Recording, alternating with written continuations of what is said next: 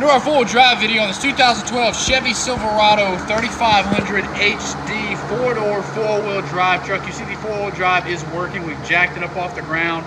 Uh, again, this unit has around 120 on the miles, and this is a single-wheel one-ton. Really hard to find them right now.